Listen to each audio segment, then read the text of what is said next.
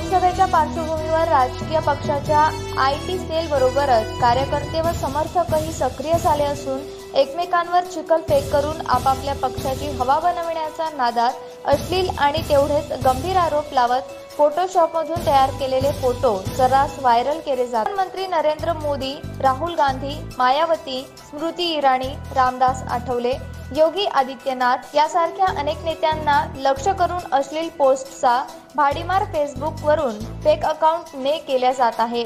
उल्लेख करता येणार नाही अशा अश्लील पोस्ट टाकल्या जात आहेत. मात्र राज्य निवडणूक आयोग आणि सायबर विभाग झोपेचे सोंग घेऊन असल्याने अशा अश्लील पोस्ट व्हायरल करणाऱ्या विरुद्ध एकाही गुन्ह्याची नोंद अद्याप झाली नाही. त्यामुळे सोशल मीडिया यामुळे सोशल मीडियावर बारीक लक्ष असण्याचा दावा करणाऱ्या सायबर सेलची पोलखोल झाली आहे.